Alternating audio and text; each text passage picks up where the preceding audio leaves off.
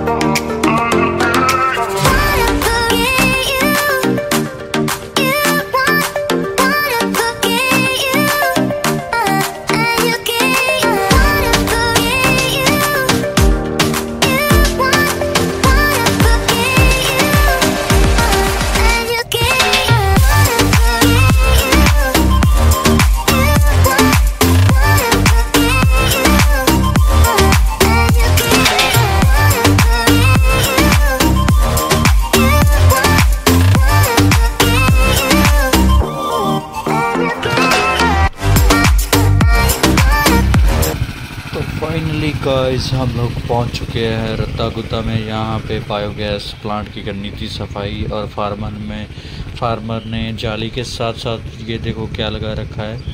कोई गैस कर सकता है? अगर किसी को नहीं पता तो ये करेले होते हैं, छोटे करेले। एक होते जो बड़े करेले होते हैं, एक होते छोटे करेले।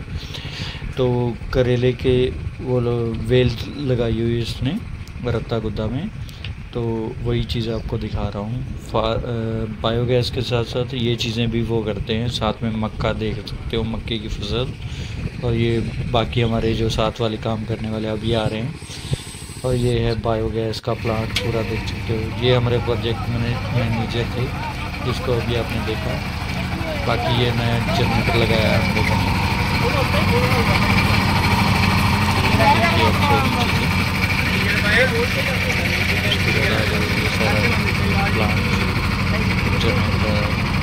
इलेक्ट्रिकल इंजीनियर उसके बाद आज थोड़ा सा आपको दिखाते हैं हेलीकॉप्टर हेलीकॉप्टर आप देख सकते हो। उड़ते हुए जा रहा था, मैंने सोचा चलो यार थोड़ी सी वीडियो बना लेते हैं इसकी भी। तो देख पा रहे हो काफ़ी दूर निकल गया अब तो। बहुत गर्मी थी उस दिन भी। और जैसे ही सफ़ाई करते हैं तो देख सकते हो आप लोग कैसे सफ़ाई करनी पड़ती है, सारा पानी पानी सड़क के, मिट्टी वगैरह एकदम बराबर करके। ये सारा काम हमको ही करवाया जाता है जब टेस्टिंग होती है। और टेस्टिंग करने के लिए आते हैं बाहर से मैक्सिको से आते हैं जिनकी कंपनी है। वो आके चेक करते हैं और इन सब में गैस भरी हुई है। और ये घर में चूल्हा तो जलता ही है इससे। और साथ में बिजली आठ घंटे जनरेटर बिजली बना के देता है।